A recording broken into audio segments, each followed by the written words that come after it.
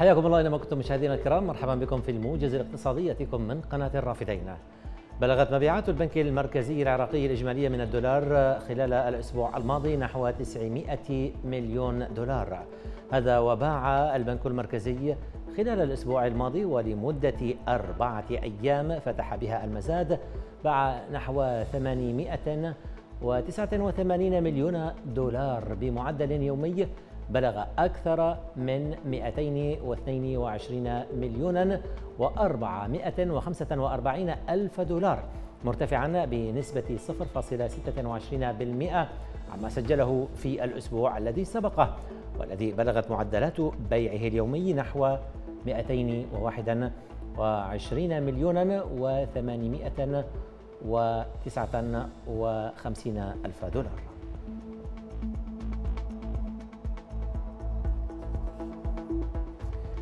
قال خبراء اقتصاديون إن سوق العملة في العراق يواجه تحديا كبيرا بعد القرار الأمريكي بحظر 14 مصرفا من التعامل بالدولار.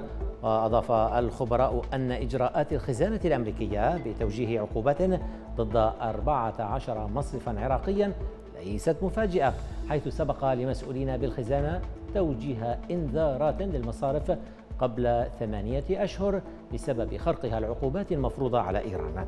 وأكد الخبراء أن ارتفاع أسعار الصرف يأتي نتيجة ارتدادات السوق حول فرض العقوبات وتخوفات تجار العملة من أن تؤدي تلك العقوبات إلى مزيد من التقييد على الدولار في الأسواق العراقية. أفاد أمين المجلس الأعلى للمناطق الحرة في إيران حجة الله عبد الملك أفاد بتوفير الأرضية لإنشاء أول منطقة تجارة حرة مشتركة بين إيران والعراق. وقال المسؤول الإيراني أن رئيس الحكومة محمد السوداني أخذ بعين الاعتبار نقطة على الجانب الآخر من حدود مهران بمحافظة واسط لإنشاء منطقة حرة مشتركة بين البلدين حيث تجري الدراسة بشأنها في الوقت الحاضر. ولطالما تحاول إيران استغلال العراق من خلال جعله سوقا لتصريف منتجاتها بحسب مراقبين.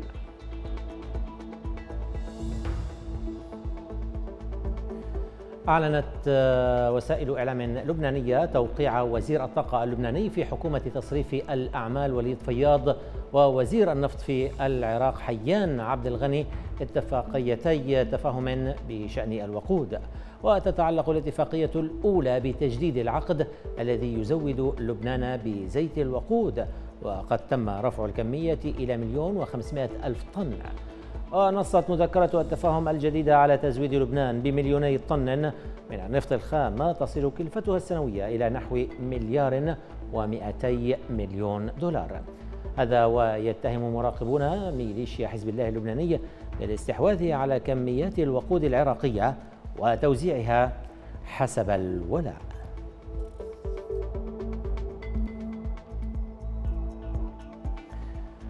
أظهرت بيانات من الإدارة العامة للجمارك الصينية أن العراق جاء في المرتبة الرابعة بين أكبر مصدري النفط إلى الصين خلال شهر حزيران من العام الحالي. هذا وأظهر جدول نشرته الإدارة أن العراق صدر إلى المصافي الحكومية الصينية خلال شهر حزيران من العام الحالي أكثر من أربعة ملايين طن من النفط بما يعادل 29 مليونا و 857 ألف برميل بمعدل بلغ 995 ألف برميل يوميا منخفضا بنسبة بلغت أكثر من 18% عن شهر أيار بعد أن صدر العراق للصين أكثر من 5 ملايين طن من النفط الخام.